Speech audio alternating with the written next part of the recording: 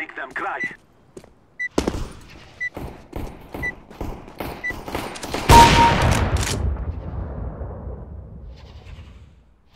They shall regret this day.